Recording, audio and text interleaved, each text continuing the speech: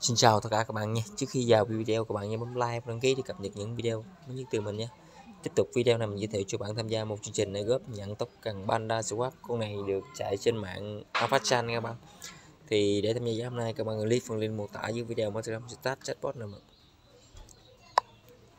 Rồi, mình nhận tóc cần có kêu là BXB này các bạn. Rồi video đầu tiên các bạn cho link group nè.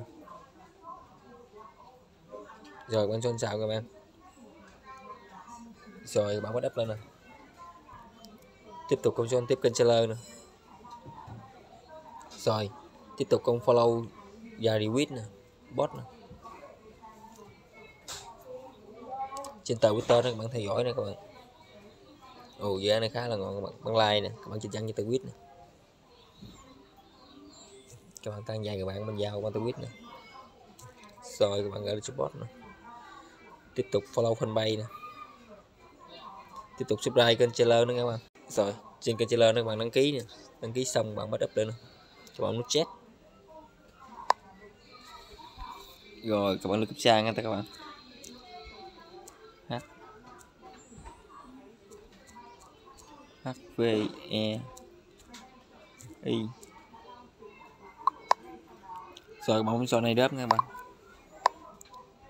Rồi nhiệm vụ này mình đã làm hết trơn rồi các bạn bấm register các bạn rồi dòng đầu tiên các bạn địa chỉ email của các bạn vào nữa các bạn sẽ nhận được 12 đô. Rồi, tiếp tục các bạn gửi địa chỉ bên bi sao mắt trên bet 20 trên dưới chocolate mình nha các bạn. Đi bot này tiếp tục subscribe tiếp tục thì các bạn gửi twitter, username twitter mình nha các bạn. Đừng link chứ mình bao ganh cùng nhấp vào một hồ sơ nữa. Ba ganh cùng nữa để chia sẻ nữa. Rồi, bạn sẽ chép liên kết nha bạn rồi. Mọi người cho bot nữa. rồi, tiếp tục mình gửi UGL ờ, YouTube như mình nha các bạn. Thì trên YouTube các bạn nhấp vào ảnh avatar của mình nhấp vào bao cạnh cùng nè các bạn. Nhấp vào chia sẻ nè các bạn. Các bạn sẽ chép liên kết nha các bạn cho mình gọi là bot nữa.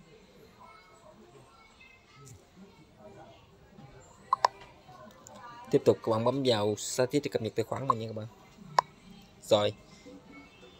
Thì ờ, uh, tôi cần nó sẽ phân phối sau các bạn. Các bạn nhiệt lên ghép chia sẻ trong bài nhân thân để kiếm thêm tôi cần nha các bạn. Vậy video mình đã đem kết thúc. Mình chào tạm biệt các bạn. Hẹn tất cả các bạn vào những video clip tiếp theo thì mình nhé.